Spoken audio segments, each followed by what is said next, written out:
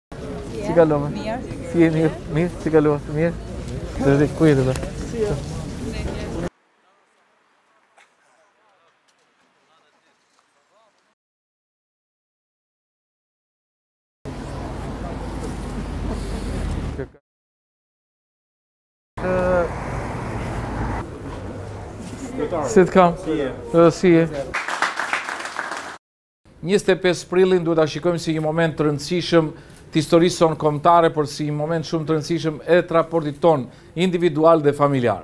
Është momenti kur ne arrijmë autoritetin më të madh si njerëz, autoritetin më të madh politik, të barabartë si kryeministri, si deputetët, të barabartë si çdo njëri tjetër ministër për të vendosur me votën tonë jo se kush është më i miri në politikë. por se kush është më e mira për fëmijët tanë, për prindërit tanë, për familjet tona, për vendin tonë, për kombin tonë. Dhe unë mendoj që ky moment në njëzet e pesë prill ka një dallim shumë të madh nga herët e tjera, sepse janë dy botë krejt të ndryshme përballë njëra tjetrës.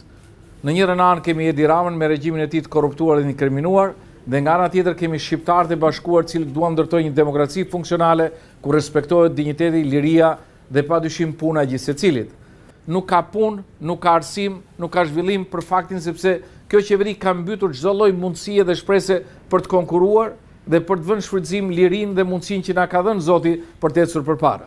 Në qoftë se kryeministri nuk ka asgjë tjetër veçse të keqes, nuk ka më asnjë raport njerëzor, vetëm shan, përbuz dhe fyen, kështu do të vejë edhe shoqëria, në ndarje të vazhdueshme.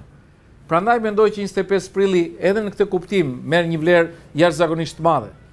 Dhe jam i bindjes që e vetmja mënyrë për t'u përballur me këtë ndarje, me këtë përbuzje, me këtë nënvleftësim, me këtë shpërfillje të jetës njerëzore është vetëm bashkimi dhe respekti dhe dashuria që shqiptarët duhet të kenë me njëri-tjetrin. Në njëzet e pesë prill ne duhet të votojmë me bindjen se është dita e shqiptarëve, të cilët vendosin njëherë dhe përgjithmonë t'i thonë ndal krimit dhe korrupsionit, vendosin që të ecin si qytetarë të lirë për të garantuar lirinë dhe dinjitetin e tyre nëpërmjet votës, garantimin e zgjedhjeve të lira dhe të ndershme.